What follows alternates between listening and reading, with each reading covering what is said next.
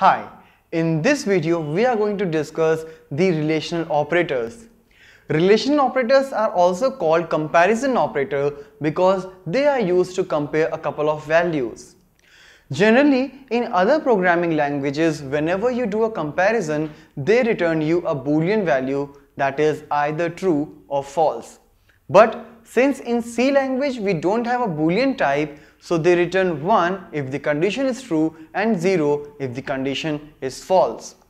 So here you can find these 6 operators are here that is equals to when you're comparing two values whether they are equal or not you will use a double equals to then not equals to greater than less than greater than equals to or less than equals to so here in this particular example we will just check the value in the output but in our coming videos we will use these values as a boolean to do some decision making.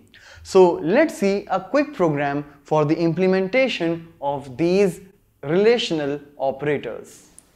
So now here we can see like there are the implementation of all the six relational operators that is double equals to, not equals to, greater than equal to, less than equal to, greater than and less than.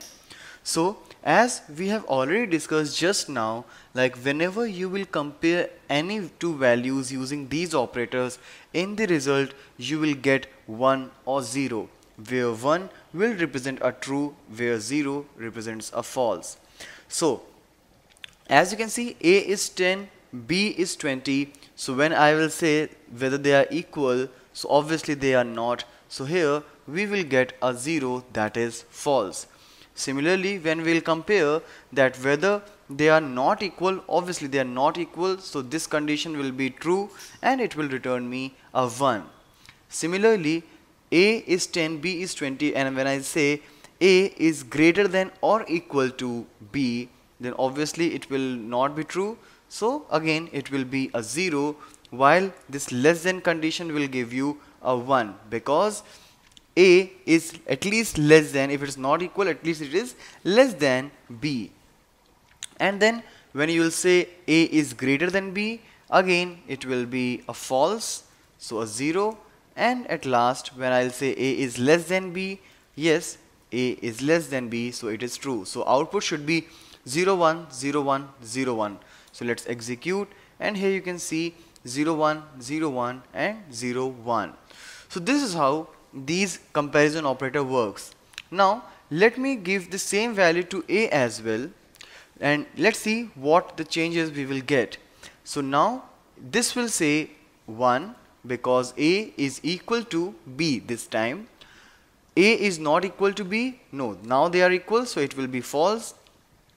A is greater than or equal to B. A is of course not greater than but yes it is equal to B. So this will return a 1 a is less than or equal to B. Again, they are not less than, but yes, they are equal. So again, a 1. A is not greater than B and A is not lesser than B. So these two will give you a 0.